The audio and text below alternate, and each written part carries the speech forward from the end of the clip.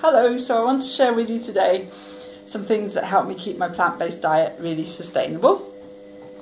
One of them is this little gem, rice milk.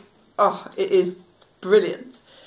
I find it really hard to have normal milk with my cereal now because this is just it's just brilliant and it lasts a lot longer than milk like you don't have to use so much of it probably because it's more water based so it might cost uh, a little bit more not much more but a little bit more than your milk but it lasts a lot longer plus if they're doing a deal you can just buy a few packets and keep them in the cupboard because you don't have to refrigerate it until you open it the other thing is crunchy nut cornflakes these are brilliant because when you're transitioning, sometimes you may get things a bit a bit screwed up during the day, so you end up undercarbed and whatever. And sometimes, sometimes you just want to, um, you just crave some kind of processed junk that you used to eat.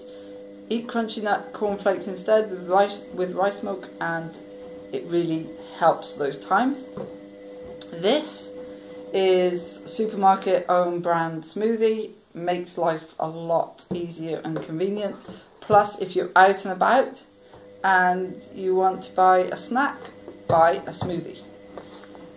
This is high in salt, sweet chili sauce, but it really helped me get into eating rice, a lot of rice. I put a few drops of this with my rice dishes and it really helped.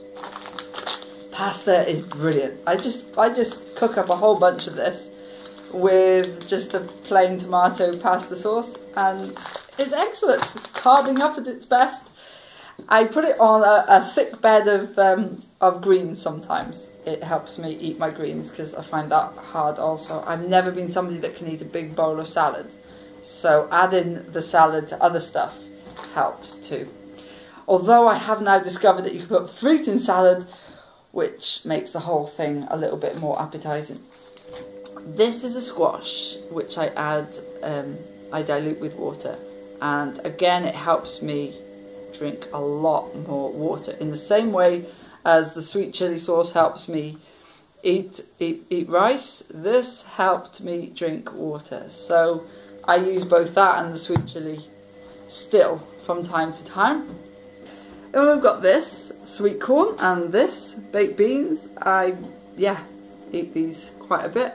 Beans on toast, jacket potato with beans. Plant-based and vegan does not have to be hard.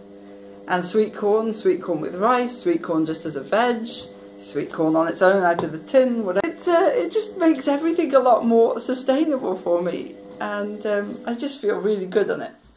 Ideally, of course, ideally I would love to um, be just eating a big plate of mangoes for, for breakfast every morning. And, um, but I live in the UK and we're just not surrounded by gorgeous, perfect mangoes and all that.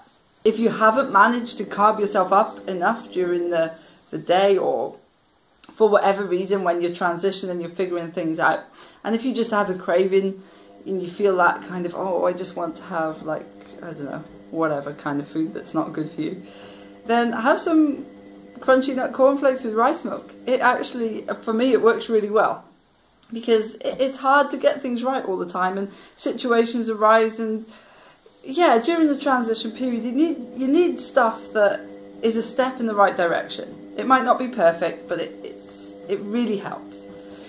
So yeah, I think the point I'm trying to make here is don't stress about it all.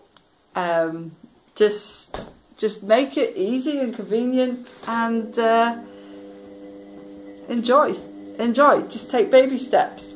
To begin with, you're over here and you're eating meat, dairy, and the general traditional diet. And over there is plant-based, high-carb, low-fat, vegan, and that's where you want to go. But you don't have to leap. You don't but I found it was much better to just like take a little a little hop and then sit there for a while and try that out. And then do another little hop and sit there and try that out. And then it does get to the stage where you actually feel like, you know what, I could just take a big dive now and do it all completely. Um, and that's where I am right now. So, yeah, I have th these these things, and I hope that they they help you out. I think that's me done for now. Okay, see you.